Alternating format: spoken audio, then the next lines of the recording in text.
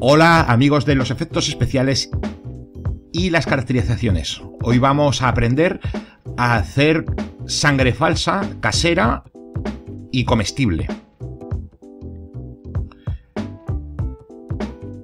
Utilizaremos azúcar, café soluble, colorante alimenticio rojo y agua.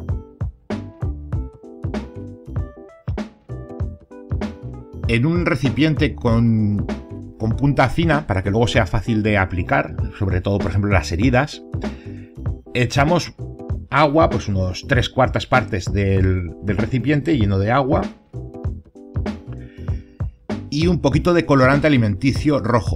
El colorante alimenticio rojo da mucho color, así que con poquito, con media cucharadita, ya basta.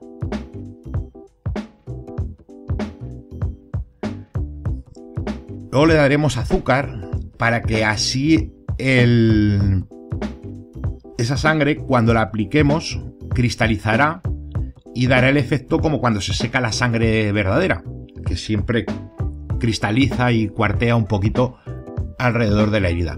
Y para darle el toque final del color oscuro de la sangre, cuando nos hacemos un corte, echaremos un poco de café soluble aquí las cantidades son bastante aleatorias, un poco pues a vuestro gusto, si lo queréis más claro, más oscuro, más rojo, más menos rojo.